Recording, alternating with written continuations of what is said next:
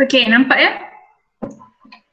Alright, so kita hari ini kita akan start dengan cover phylum Mollusca. Okay, if you look at phylum Mollusca, okay, ada ada berapa phylum yang saya yang ada dalam Animalia? Ada berapa phylum? Siapa yang dengar boleh jawab how many phylum? In Animalia. Tak? Ah, berapa filem dalam Animalia? Kingdom Animalia ada sembilan filem. Yes, ada sembilan filem. Dan kita dah cover enam filem yang pertama. The first started with Porifera and then Cnidaria and then um, Platyhelminthes and then Nematoda, Anel Annelida and Arthropoda. Itu yang kita dah cover enam ni. Then daripada enam yang kita cover ada tiga adalah phylum yang cover untuk worm sahaja. There are three phylums that cover for worms which are Annelida, Edematoda and Platyhelminthes. So ketiga-tiga phylum ni biasanya soalan akan minta awak compare. Awak soalan bagi tiga gambar flatworm, earthworm dengan apa tu lagi? Uh, nematoda So tiga tu awak kena identify which one is its phylum, which one is Nematoda, Annelida, Platyhelminthes. Awak kena boleh able to identify. Okay, uh, untuk untuk dalam UPS soalan boleh tanya semua sekali kat dalam uh, dalam uh, kingdom animal, uh, sorry, dalam biodiversity. Sebab biodiversity ni lebih kepada fakta, so memang soalan boleh tanya semua sekali lah.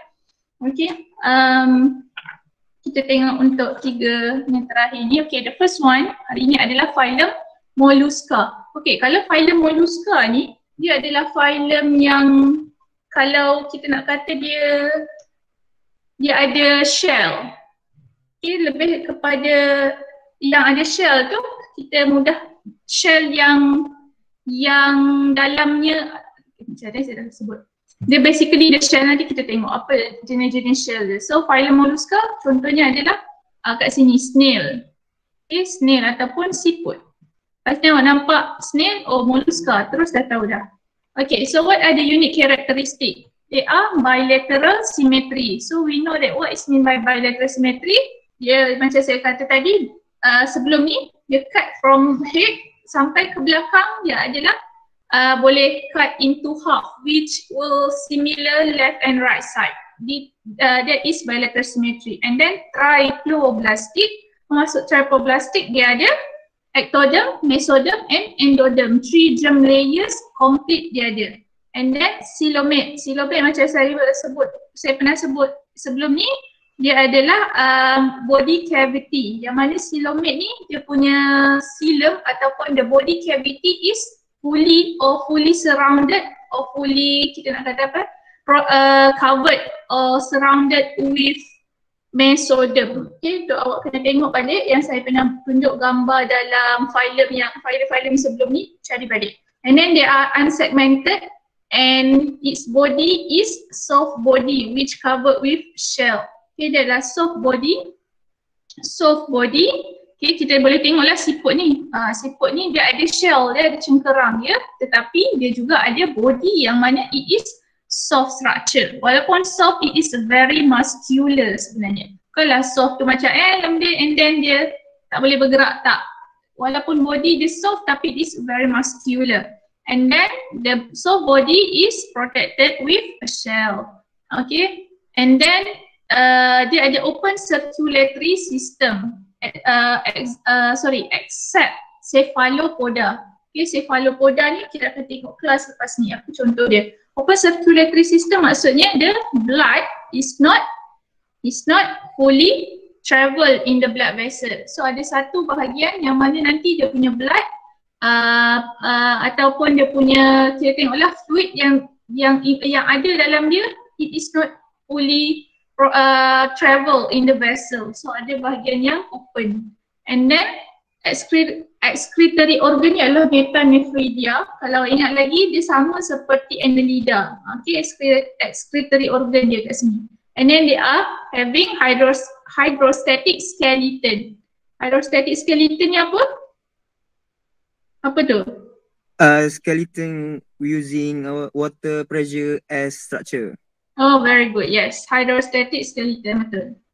Eh, sebab dia ada dia tak bertulang eh. Kalau tengok dia punya dia tak ada tulang. Tapi dia ada skeleton yang menggunakan yes hydrostatic kat situ. Menggunakan water yang mana um, dia tak ada tulang tapi still lagi dia perlu support body dia. So dia adalah hydrostatic skeleton. Body dia soft and fleshy. And nak boleh tambah kat situ muscular. Okay, dia ni sadar sikit walaupun lembut macam tu. Okay, so boleh tengok structure atas ni adalah ha, siput. Okay, and then yang bawah ni adalah dia punya internal structure. Okay, nanti uh, lepas ni saya tunjukkan apa important, ada three important structure untuk dia. So there are three important structure. The pertama, uh, the first one is visceral mass. Visceral mass ni dia adalah most internal organs. Most internal organ. Maksudnya awak take out shell dia. So semua sekali tu adalah internal organ lah. Kita nak kata most ada kat situ. And then dia punya mental. Ha, uh, dia punya mental dia kat sini. Yang warna purple ni. Yang warna purple. So purple ni adalah mental uh, mental dia yang mana cover dia visceral mass. Dia akan cover visceral mass internal organ kat situ and also dia akan secret satu uh, dia akan secret calcari dia akan secret satu satu apa ni kita nak kata um, component which is ya yeah, component tu di uh, daripada gland yang mana gland tu akan secret calcium carbonate kalsium karbonat dia akan release keluar yang mana itulah yang akan membuat shell untuk dia. Okay, so they will secrete calcareous shell okay, by using its gland. So calcareous ni maksudnya apa? Dia ada kalsium karbonat. Awak boleh tengok nota awak ni, page 20 berapa? 23 rasanya.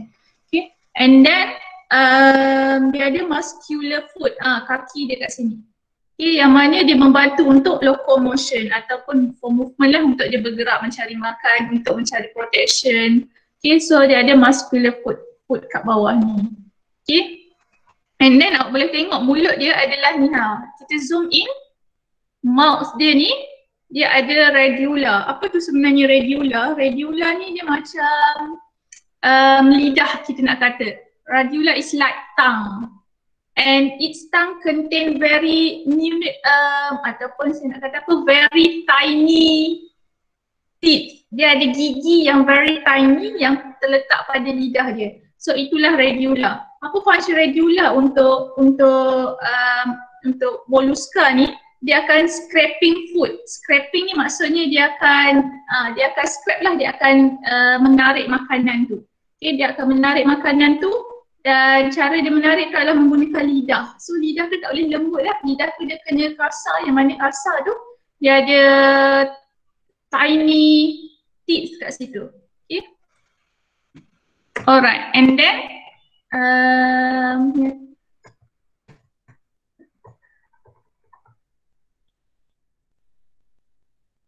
Okay, so there are three classes. Ha, ni senang je. Namanya Nama menarik eh, ada saya dengar lah hari, uh, bukanlah hari tu, ada beberapa lah. Uh, aduan yang mengatakan susahnya biodiversity ni sebab banyaknya. Dah lah banyak structure yang baru, nama yang uh, expose dengan awak kan, nama baru untuk awak. And then belum lagi filemnya, belum lagi classesnya. Okay, banyak nama yang awak kena ingat. Sebenarnya tak ada masalah pun sebab awak rasa susah untuk first time je macam kalau dah biasa awak dah selalu study, selalu dengar, selalu ulang dia akan jadi mudah. Contohnya bila saya sebut contohnya um, contohnya apa? Bryophyta. Awak dah tahu dah dia adalah kelas dalam bryophyte. So awak boleh quit. So nak kata awak kena exposekan diri awak more frequent towards the new term tu. So the terms will not anymore becomes new to you. Awak akan getting used. Okay, so there are three classes in uh, in mollusca. The first one is class gastropoda. Class kelas gastropoda uh, ni yang bawah ni. Okay, kita akan tengok uh, bukan yang bawah ni, yang snail ni. Okay, dan nanti saya akan tunjuk lepas ni. Lepas tu cephalopoda and bivalvia. Gastropoda, cephalopoda and bivalvia. Okay, the first one. Kenapa dia pergi? Okay, the first one is class gastropoda. Contohnya adalah akatina. Akatina adalah garden snail. Ha, yang biasa kita nampak ni, yang siput ni. Okay, dia dipanggil akatina. And then dia punya shell dia single sahaja dia ada satu shell and then dia ber, dia punya corak dia spiral. Okay, awak boleh nampak pattern dia tu spiral. Dia ber, dia berpusing sampai ke dalam. And then its body is large, moist and muscular. And dia ada dia bernafas menggunakan gills. Okay, dia dia res, uh, undergo respiration using gills uh, dan dibantu oleh moist skin. Okay, and then dia feeding through radula tadi yang saya sebut tu, dia ada tongue, uh, tongue-like structure with teeth. And then it has uh, open circulatory system. Okay. And then the second one is class get, uh, cephalopoda. Class cephalopoda contohnya adalah sepia. Sepia ni uh, dia uh, contohnya adalah squid. Okay. And then lagi adalah cuttlefish. Yang mana adalah squid, yang mana adalah cuttlefish? Cuttlefish yang bawah. Yang Okay, cuttlefish yang bawah. Itu adalah squid yang biasa makan.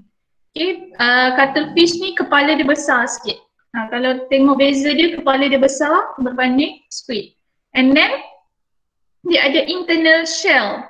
Okay, kalau awak masak, kalau awak pernah tolong mak awak masak squid tu, masak sotong tu, uh, awak akan nampak dia ada internal shell. Tu bukan bone dia, tapi tu adalah shell dia.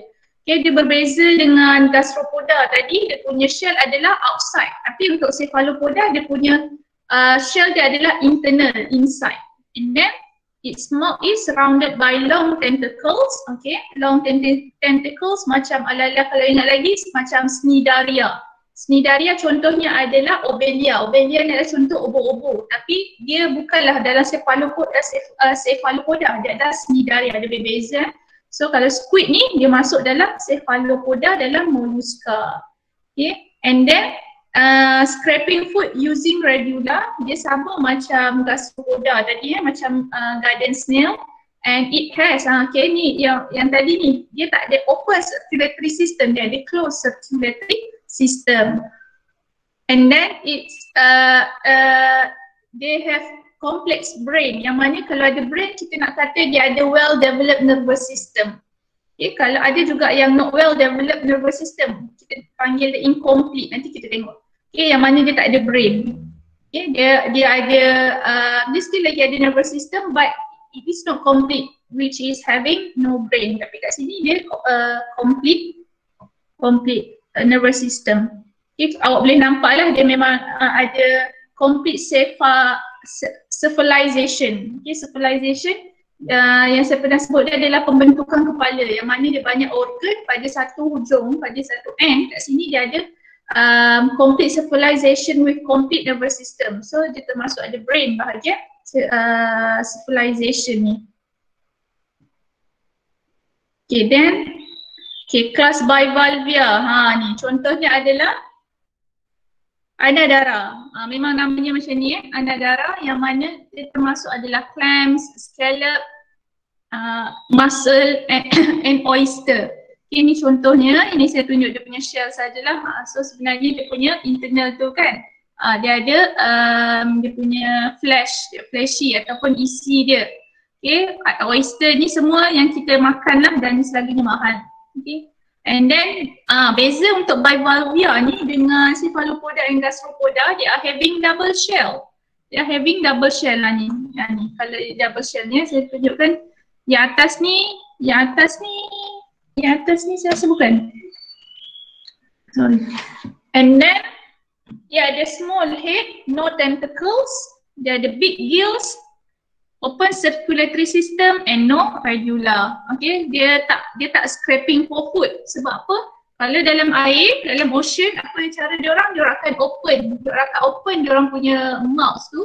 Uh, dia akan uh, open mouth tu dan dia akan let the water pass through yang mana nanti dia akan uh, terus akan grab makanan lah yang daripada water water current tu daripada laluan air tu kat situ dia akan terus dapat makanan. So dia dia dia tak scraping for food. The no regular. Okay and then the second one is phylum Echinodermata ha, bunyinya.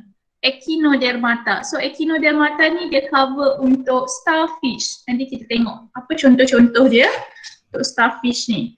Okay, then uh, apa dia punya unique characteristic? The first one is its body plan is pentaradial symmetry. Okay, dia kita nak kata pentaradial dia macam bentuk pentagon dan simetri sebab setiap dia pun every arm dia dia sama lah, dia sama. Kalau kita take out dia satu, uh, dia bentuk dia sama dengan arm yang lain. So dia punya ini bila adult, adult dia adalah pentaradial symmetry. Tetapi bila dia punya dalam bentuk larva adalah bilateral symmetry. And then uh, dia punya germ layer tripoblastic dia complete mesoderm, ectoderm and endoderm. Dia ada coelomate macam saya sebut tadi. Dia ada polycavity which is fully surrounded by mesoderm. Okay, uh, body cavity biasa sebut body cavity ni dia sebenarnya adalah dia punya uh, fluid dalam badan dia. Okay, yang mana fluid dalam badan dia memang um, dia surrounded uh, apa uh, fully covered with mesoderm. And then mouth dia ah ni mouth dia adalah lower parts, anus dia adalah upper part. Ah beza. Uh, boleh nampak kat sini atas dia anus. Okay, bawah dia adalah mouth. Okay, so sebab apa mouse kat bawah? Sebab dia memang mencari makan adalah daripada bawah. Dia scraping for food. Okay, so bila dia scraping for food, dia ma- mencari makan daripada bawah. So mulut dia memang kat bawah lah, anus dia uh, kat atas pula. And dia ada uh, water vascular system yang mana lepas ni saya akan tunjuklah water vascular system dia macam mana uh, the water pass through through them. Yang mana water vascular system penting untuk movement feeding and gases exchange. Okay, so boleh tengok structure dia. Dia um, dia biasanya ada lima. Uh, tapi yang bestnya dia setiap arm ni, setiap arm ni dia ada berbeza function, berbeza function. Ada arm yang untuk reproduction, ada arm yang untuk uh, kat sini awak nampak yang kanan ni arm, dia ada gonad so dia adalah arm untuk reproduction and then yang tengah-tengah ni yang tengah-tengah ni adalah arm untuk digestion. Untuk uh, untuk uh, digestive system ada satu arm spesifik untuk dia. Okay, uh, so dia setiap arm dia tu untuk repeated dia berbeza, dia ada berbeza function. Then kita tengok. Lagi, okay, dia adalah calcareous endoskeleton. Kenapa calcareous endoskeleton? Uh, nanti kita akan tengoklah. Dia punya skeleton dia ataupun dia macam tulang.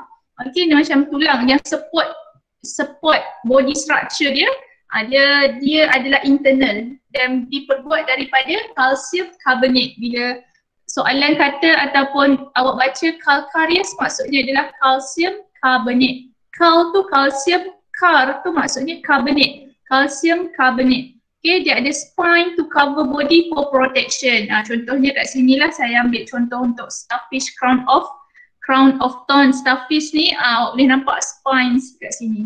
Okay, untuk protection. Tapi dia juga membantu untuk dia move lah untuk dia bergerak.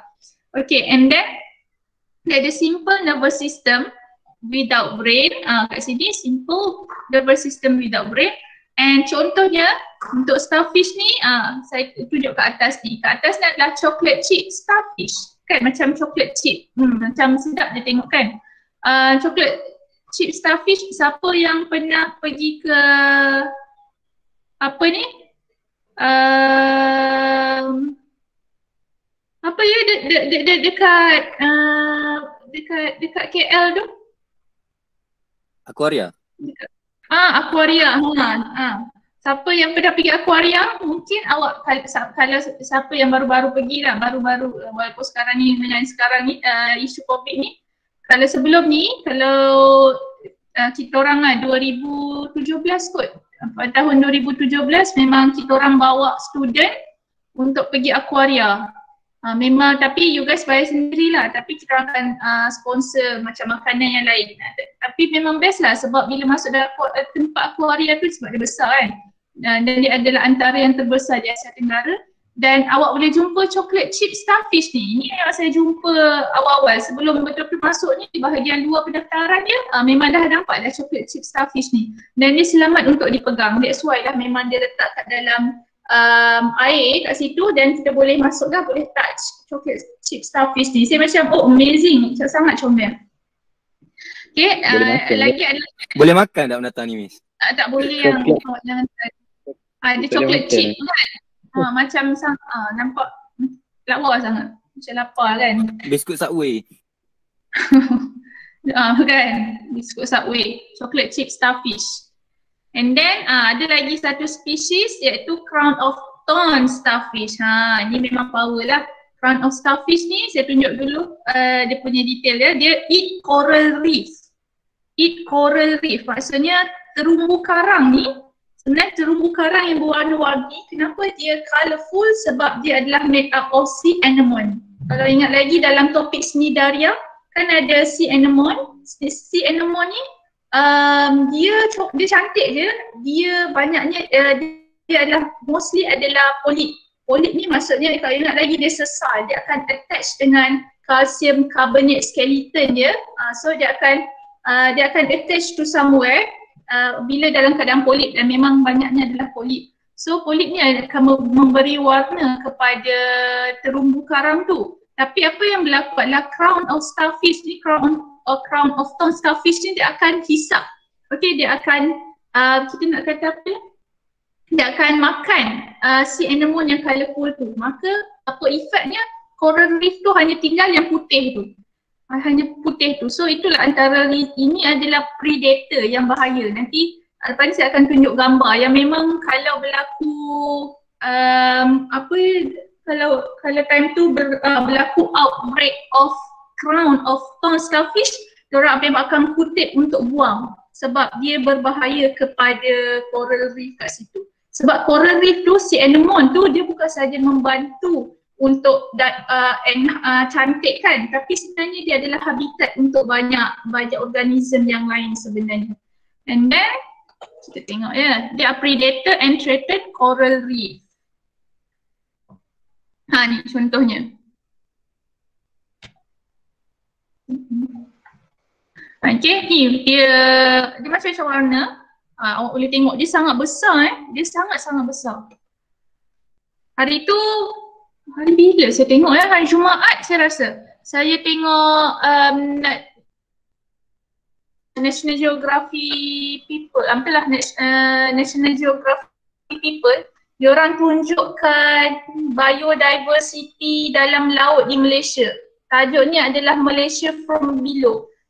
From below. So saya sangat amazed sangat sebab mungkin siapa yang reti berenang saya sangat advise untuk you guys uh, ada lesen diving. Best sebab bila you guys masuk sebenarnya the world and the world ni lebih lawa dan lebih amazing. Tak semua orang boleh tengok.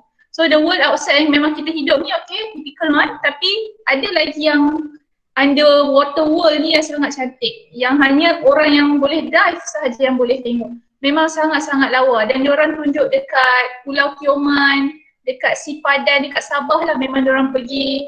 Uh, pergi dekat Sabah, Sabah memang banyak tempat yang sangat-sangat Okay, banyaklah kat situ. Saya tengok ada kat situ crown of thorn starfish. Okay, awak boleh tengok kat sini yang kanan ni apa diorang buat? Memang diorang kutip dan buang. Okay, sebab dia adalah predator. Dia sikit tak apa tapi bila dia outbreak dia banyak dia akan harm coral reef kat kawasan tu. Dan dia akan makan uh, polip ataupun sea anemone tu dia akan makan. Dan menyebabkan uh, tinggal tinggal uh, reef tu sahajalah yang kalsium karbonat tu yang kalau efek dia nanti warna putih kan ataupun dipanggil bleaching of coral reef. Dia bukan uh, yang bawah ni gambar ni. Awak tengok tinggal putih sahaja. Okay. Dia salah satu mungkin disebabkan salah manusia sebab kita selalu uh, dia, dia jadikan tourism site. Okay, diving, orang diving semua uh, ataupun sometimes orang diving masuk dalam. Kalau ke atas ni snorkeling kan ya, yang memang korang terapung tu kalau snorkeling apa salah satu efek masalah dia adalah sometimes mungkin bila dia kawasan yang cetek bawah tu dah ada coral uh, you guys mungkin tertendang dia. So dia terpatah. Ok Okay, uh, tu salah satu masalah jugalah. And then saya suka tengok dalam, saya ingat lagi lah dalam dokumentari tu dia tunjukkan dekat uh, mana? Oh, dekat Pulau Kioman. Okay, so dah kata kawasan yang coral reef ni diorang jadikan diorang diorang uh, walaupun dah banyak bleaching tapi diorang try untuk recover balik. Salah satu cara adalah diorang akan patahkan beberapa coral reef yang ada sekali dengan sea anemone tu diorang akan patahkan dan diorang uh, uh, diorang cucuk dekat diorang akan diorang buat macam apa ya ada dawai-dawai banyak yang mana dawai tu macam kita nak kata macam net lah, net tapi dia orang pasang satu bahagian kat dalam laut dan dia orang akan ikat. Saya tengok dia ikat guna kabel tight je. Uh, so dia, dia memang cucuk-cucuk dia, dia akan ikat-ikat je, uh, cucuk dan ikat. So apa apa lepas tu nanti dia akan dia akan grow. Dia akan grow, grow, grow. So nanti kat situ nanti dia menjadi coral reef baru kawasan, kawasan tu. Sangat nice lah itu cara untuk dia um, um, con, uh, con, conservation and preservation. Okay, and then kita tengok water vascular system. Oh, saya tak dapat conteng dan sebenarnya ni nampak. Okay, so water vascular system dalam awak tu, awak boleh buka page berapa ni? 24 if I'm not mistaken lah kalau salah, uh, kalau sama. Sebab uh, saya punya buku ni adalah sesi lepas. Okay, awak boleh tengok page 24, uh, echinodermata. Okay, water vascular system ni, kalau tengok dalam buku tu, pertama dia kata water akan masuk melalui madreporite. Madreporite ni dia akan masuk daripada bahagian atas and then kawasan dia seterusnya dia akan, lepas air masuk daripada atas, dia akan masuk ke mana? Ring canal. Ring canal yang tengah-tengah ni. And then dia, lepas pergi ring canal, dia pergi ke radial canal. Radial canal ni adalah yang straight line ni yang ada pada setiap arm. Okay, so daripada uh, madreporite, second adalah ring canal, third adalah radial canal, and then the last one adalah tube feed. Okay, lepas sampai ke radial canal ni, uh, water akan pergi ke tube feed. Yang mana tube feed ni dia ada ampulla, uh, ampulla kat sini. Atas ni eh, dia store water. Okay, nanti bila dia bergerak dia akan release water. Okay, dia akan release water dan dia akan refill balik. So itu salah satu cara dia bergerak. So ingat ya daripada madreporite, second akan pergi ring canal at the center and then dia akan go to the radial canal. Uh, setiap arm ni ada radial canal, dia macam backbone dia. And then dia akan go to the tube feed. So before dia go to the tube feed bahagian bawah ni, okay, dia akan, the water will be stopped first at the ampulla. Ampulla kat atas ni. Okay, and then classes of echinodermata. Okay, echinoderms ni maksudnya dia punya uh, organism kita panggil echinoderm. Okay, tapi kalau kelas uh, ataupun um, apa tu phylum adalah echinodermata. So dalam echinodermata there are three classes yang kita akan cover. Ada banyak sebenarnya. So tiga ni utama yang kita cover. Pertama adalah kelas asteroidea kelas asteroidea contohnya adalah starfish. Ha, contohnya starfish. Okay, apa dia punya ciri dia ada flatten, dia berbentuk flatten star. And then dia ada arms with spine. Okay, dia ada kaki yang mana bawah ni, ha, boleh nampak bawah ni, dia ada spine yang membantu dia untuk bergerak lah dan dia attach to somewhere. And then Okay, and then adalah kelas yang kedua, kelas holoturoidea. Contohnya adalah sea cucumber. Okay, awak boleh nampak bentuk dia, sea cucumber. Sangat-sangat comel dia macam-macam bentuk dan macam-macam warna sebenarnya. Contohnya adalah gamat kan, yang yang selalu orang kata minyak gamat. Pergi Langkawi beli minyak gamat, yes. Minyak gamat tu dia, gamat tu adalah sea cucumber, timun air. Timun laut, timun air pula, timun laut. Okay, dia berbentuk cucumber Okay, bentuk cucumber, dia no arms and no spine. Dan dia kelebihan si cucumber ni adalah dalam regeneration. Contohnya kalau cut satu bahagian, dia dia tak mati.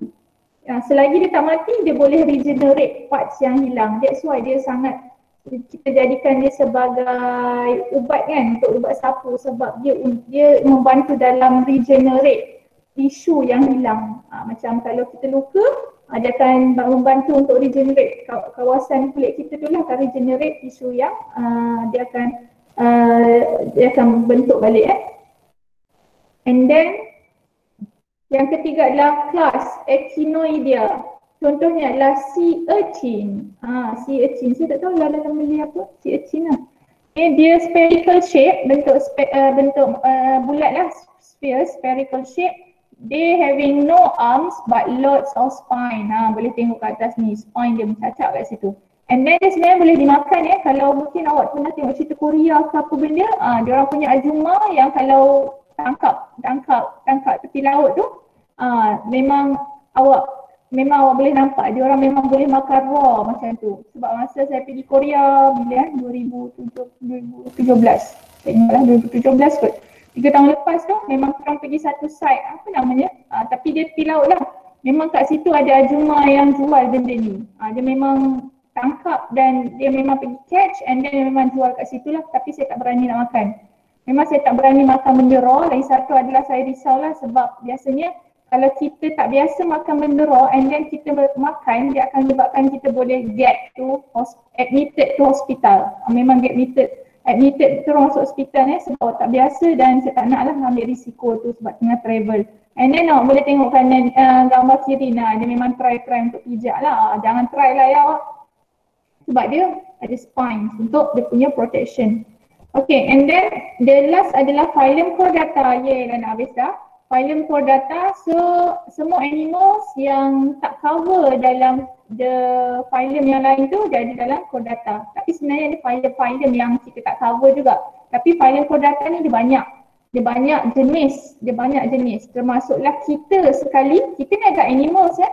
So yeah human are actually animals. Dalam kingdom animalia we share the same kingdom with the rest of animals However, which one is ours? We are in phylum chordata. Ataupun kalau organism tu kita panggil dia chordates. Okay, dia uh, uh, kita tengoklah dia ada bones yang mana support structure dia, uh, yang support structure kita adalah bones. Kita ada vertebrate. Okay, kita boleh tengok contoh ni. Tapi adalah invertebrate juga. Tapi basically kita ada bones yang support diri kita. Okay, so uh, boleh tengok contohnya termasuklah ikan, frog. Okay, uh, kita tengok lagi. Alright, so the unique characteristic of chordates. Okay, kenapa dipanggil chordates? Okay, nanti saya akan tunjuk lepas ni. Okay, apa ciri-ciri dia? Dia adalah bi bilateral symmetry, trifloblastic, coelomate. Okay, ketiga-tiga hari ni semuanya adalah trifloblastic, bilateral and coelomate. Uh, kecuali uh, echinodermata tadi lah, dia adalah pentaradial symmetry. And then we are having closed circulatory system. Ah, apa maksud closed circulatory system? Meaning that our blood ataupun our fluid memang travel dalam vessel kita, uh, dalam satu vessel itu uh, blood vessel contohnya blood vessel memang travel uh, inside vessel. So sekali dia keluar daripada vessel, it is not anymore called blood. Okay, dia ada nama lain lah. Contohnya dia akan keluar sebagai um, apa tu? Uh, interstitial fluid. Okay, interstitial fluid adalah datangnya saya pernah bagi tahu kan, dia datang daripada blood. So blood, bila dipanggil blood, it is automatically inside blood vessel. And then, apa lagi point kat sini, they are having, we are having endoskeleton. Okay, kalau, kalau awak, kita kat luar, kita tak ada skeleton, kita ada kita tak ada uh, apa ni kita tak ada shell kan. So semua uh, tapi kita still lagi boleh berdiri. Kenapa? Sebab we are supported by endoskeleton. Kita punya skeleton dalam ni eh. Okay? So ini adalah sebenarnya kita punya basic structure. Basic structure untuk untuk chordate kenapa dipanggil chordate kat sini depan okay so saya zoom in kan saya tak boleh nak conteng awak, awak refer kepada page 25 lah ha, saya sebut yang satu-satu ni okay so yang pertama okay, ini adalah basic structure eh. Yang mana semua kena ada. Untuk menjadi codec dia kena ada basic structure ni. Selagi dia tak ada dia tak boleh dipanggil codec lah. So yang pertama adalah muscle segment. Muscle segment dalam buku awak dia dipanggil myotom. Saya nak conteng tapi saya tak boleh. Okay, uh, boleh refer nota myotoms. Myotoms ni adalah daging. So sebenarnya kalau makan ayam, ha, lepas ni awak nak pergi kafe kan, so awak nak beli ayam goreng. So awak boleh minta, um, awak boleh makcik saya nak ma- mayotom lebih sikit. Ha, masa lebih, maksudnya awak nak isi banyak. Isi tu sebenarnya adalah mayotom. Ingat ya, lepas ni awak boleh guna istilah mayotom. Ikan geli, Miss. Ikan geli. Ha? Ikan Ikan keli. geli, ikan geli. Ah, ikan geli kan bila dah goreng kan dia sikit je kan. Ah, so mayutom ni kurang. Ah, itulah dia. So masa ataupun yang kita makan tu, ah, kalau kat kita manusia ni kulit kulit, eh sorry kulit. Daging ni adalah kita dipanggil mayutom. Itu istilah dalam bio.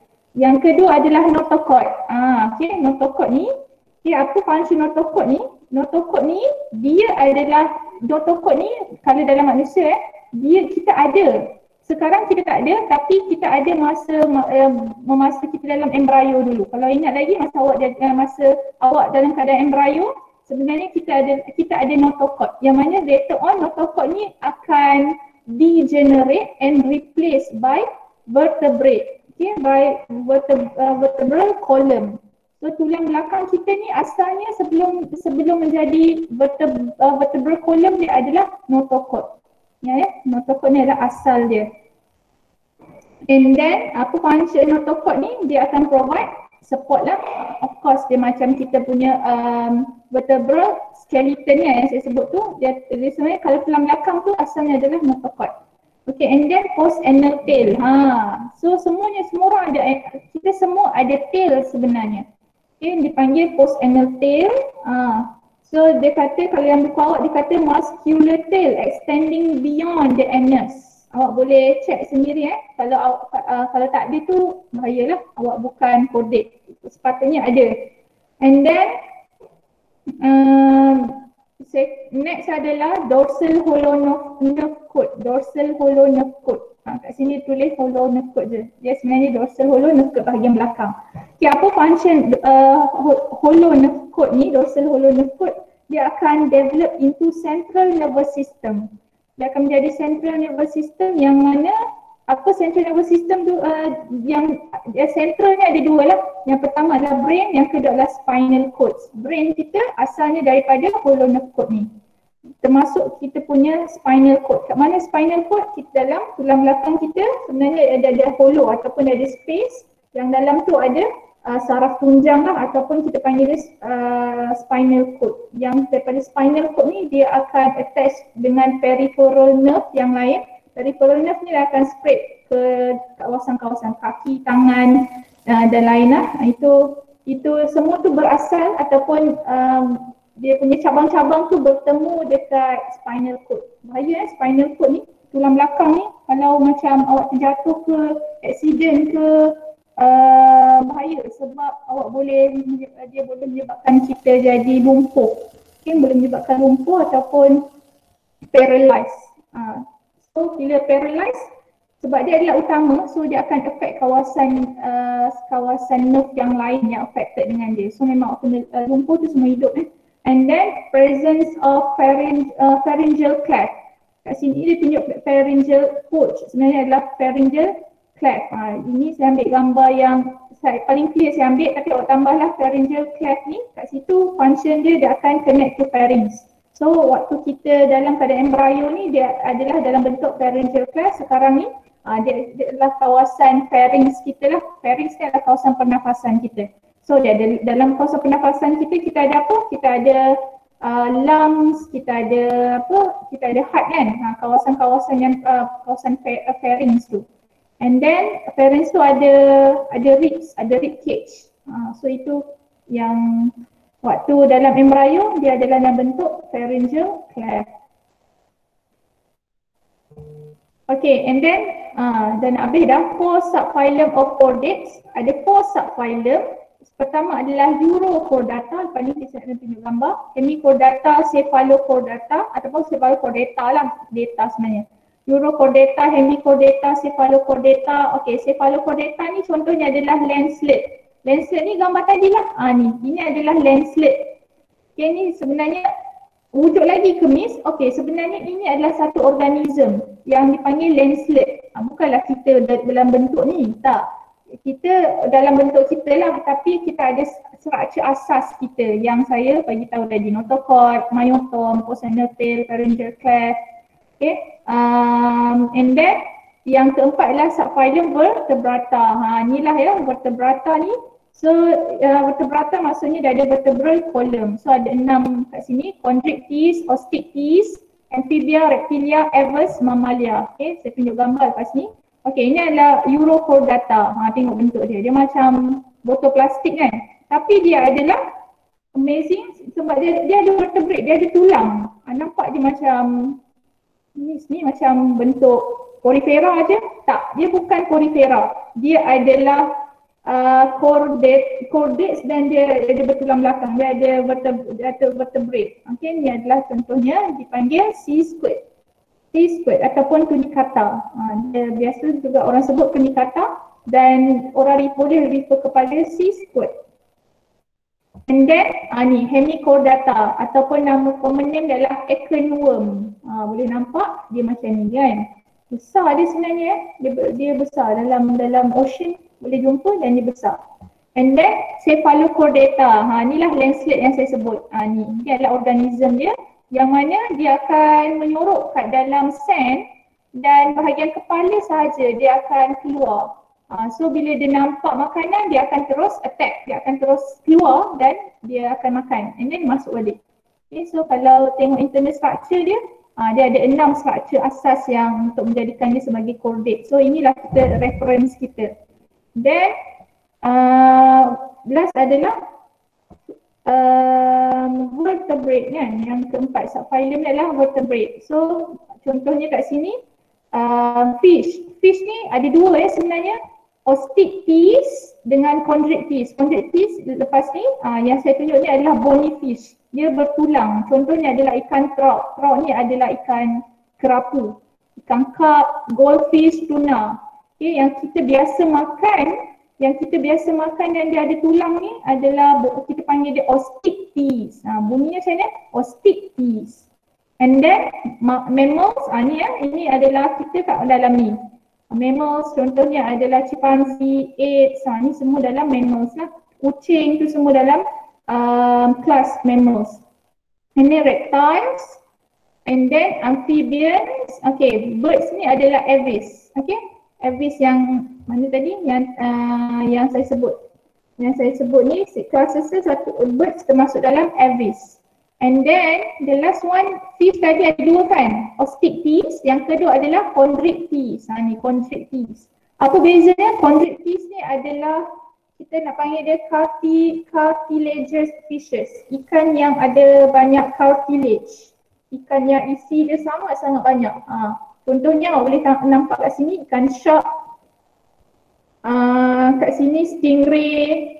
Okay, apa lagi kat sini? Ha, ni apa ya? dia rasa ikan shark masa kecil kot. Ha, so ini contoh dia lah yang mana dia, banyak, dia sangat mahal. Okay, dia sebab dia banyak dia banyak uh, cartilage juga. So dia dia bukan bony fish yang biasa yang kita makan boleh boleh jumpa kat, uh, dekat pasar-pasar, kat market biasa. Uh, ini ikan yang mahal lah. Okay, so that's all. From me, ada soalan tak? Tak ada. Okay, so saya dah terambil 5 minit lebih. Okay, so thank you everyone. Kita jumpa esok. Esok kita akan masuk topik baru. Okay.